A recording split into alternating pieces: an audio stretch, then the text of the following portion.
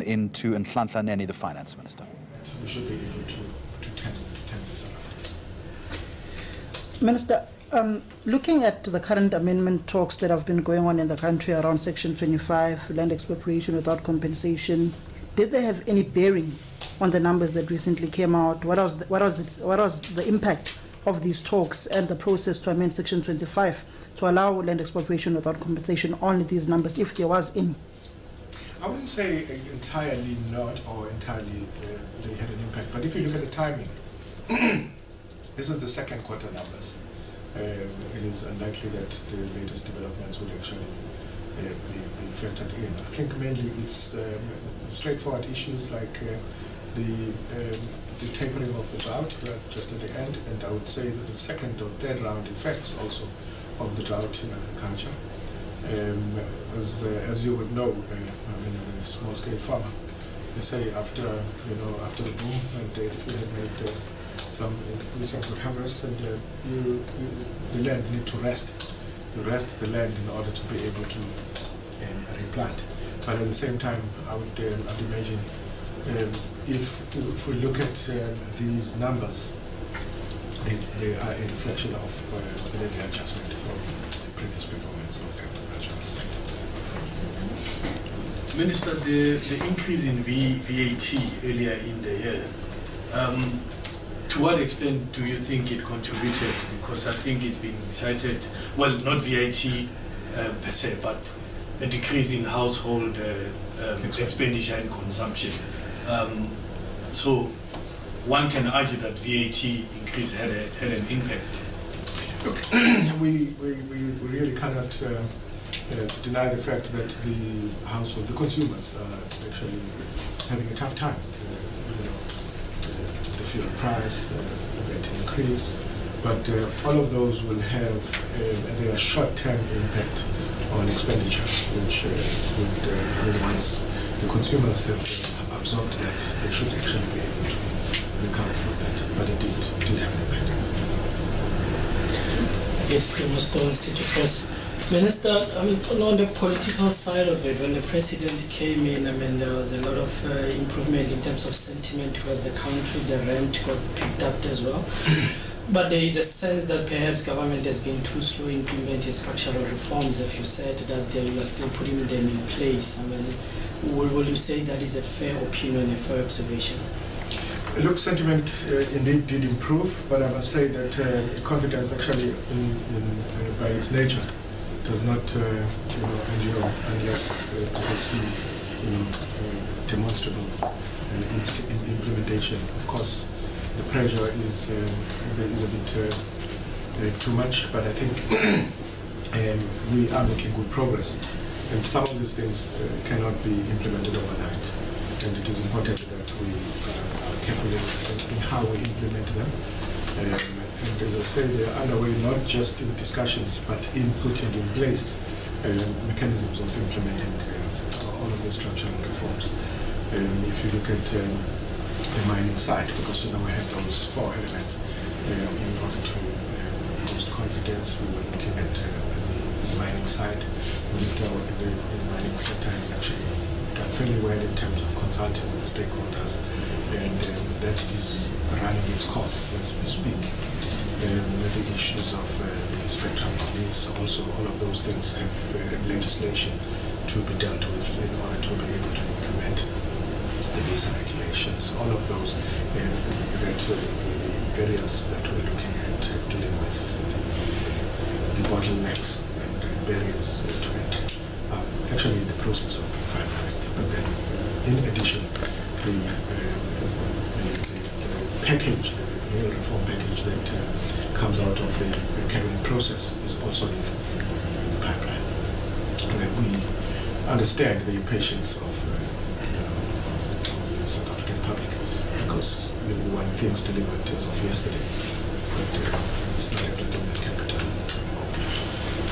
Minister, can I just ask you to please repeat your initial re- reaction? We're taking it live and they, they couldn't hear you properly back home. Um, with regards to the implementation of the um, structural reform. No, with regards to the technical recession that we are currently in after Stats SA's remarks. Oh, okay. I, Yes. uh, initially, I said that uh, we received the numbers when we were in the, in the session there. Um, our first um, observation was that it is uh, the uh, it is agriculture that has actually um, uh, taken the biggest knock at 29%, but it is indeed a, a, a normalization or a readjustment from um, um, how agriculture has performed in the past. It overperformed or it performed exceedingly well in the, in the last two quarters of last year, in 27, uh, 2017, and then started contracting at the beginning of uh, uh, 2018 at 33%, and now we're at it is 29%, taking off about uh, 0.8% of, uh, uh, of our growth. Uh, Minister, I wanted to ask just a follow-up to your previous answer. Do you have a timeline perhaps around when exactly government will conclude those structural reforms and how important is it that that process is expedited? The ti- timeline is indeed that we would want to expedite. That's, that's what I would want to say.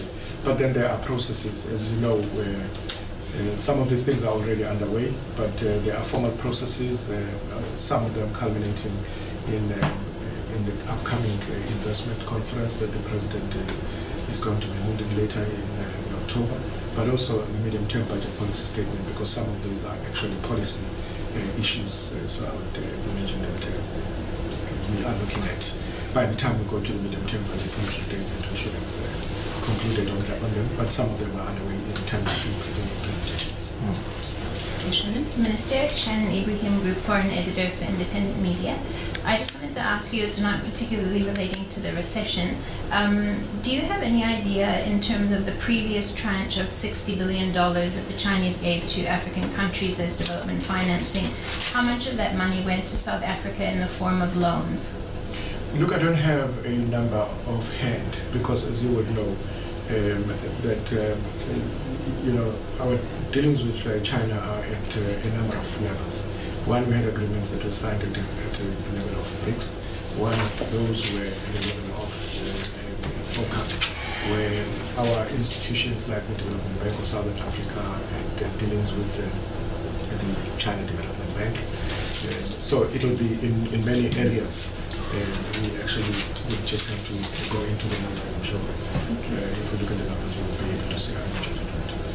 But it's at, at, the same time also, you'll find that we, would sign memorandum, memorandum of understanding and then move on to look at real agreements for each of those, and it depends on which category it falls, that you will know when and how much went into it.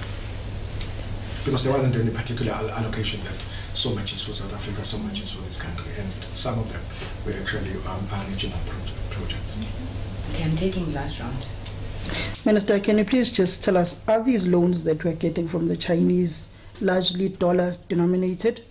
If so, what does what, what impact does this have to the South African rand, particularly looking at the debt of our local currency? What impact does it have on us? It, it depends also on the nature of the project because they are normally project uh, uh, bound. So it depends on the nature of the pro- uh, project. And then uh, with China, we have uh, a very good um, arrangement in terms of uh, determining whether we, it would be rand denominated or, or, dollar denominated. So both as members of BRICS, and we've uh, tested the issue of uh, issuing debt now in, in, in local currency, and that's what we are uh, mainly focusing on as a country. But it normally depends on the nature and the type of the project that's being implemented. Clement? No, good. Covered? Sure. We are learning from the Chinese. Um, Minister, thank you if you insist. Sorry, Minister, just a last one for my part. Are you amongst the ministers who are lined up to testify at the State Capture Commission? Watch the space. Watch the space, meaning Meaning, you know, a lot of us uh, before the state capture.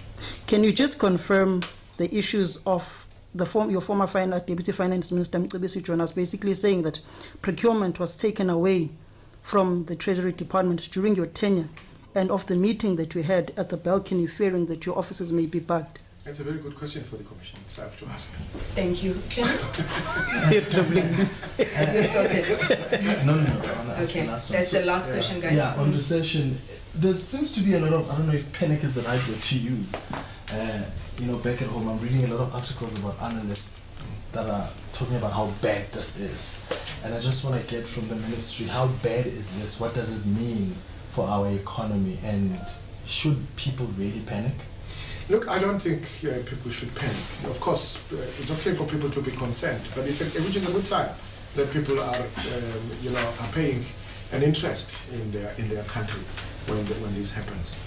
And I think it's also going to call on all of us to work together um, to lift the country out of this. I spoke earlier about uh, the investment uh, uh, conference that is coming. There is the job summit that is coming. We are uh, building up to the medium-term budget policy statement. We, there is going to be a consultation process, and uh, it will be important to, and, and, and it's going to be critical to hear the views of uh, ordinary South Africans also, uh, but uh, in a constructive manner, because um, I think we just had an opportunity here as a nation to work together towards rebuilding. economy. So don't panic, government is working on a plan. It's working with South Africans also, and we are uh, definitely committed Thanks. to everything. Thank you very much, Minister. Thank you very much.